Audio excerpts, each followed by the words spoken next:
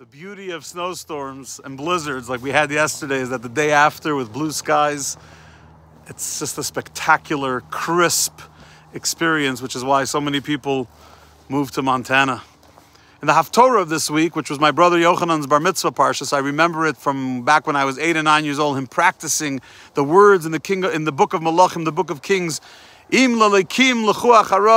Elijah, the prophet Eliyahu, says to the Jewish people serving the Baal, either choose God or choose Baal. Ad until when are you going to live a double life? Until when are you going to have double allegiance?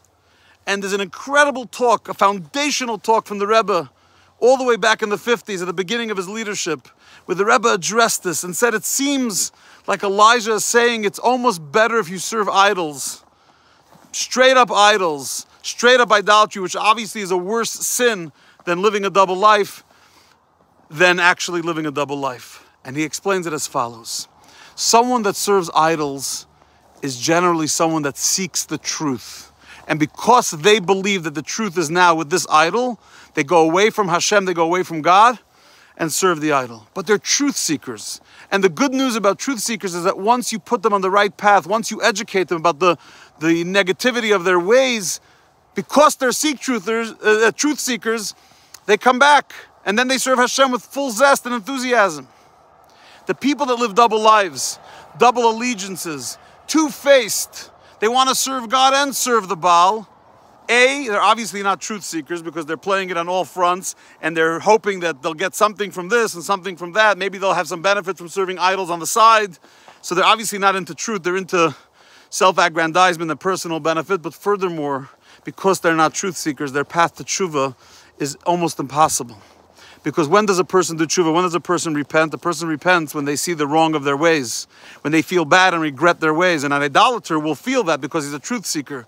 But someone living a double life, who has allegiances both to God and to other idols, they don't feel bad because whatever you'll tell them, they say, But yeah, I never stopped believing in God, so I'm not so bad after all. Therefore, their chance of doing true, authentic, unadulterated tshuva, repentance, and return to God is much, much harder and almost impossible.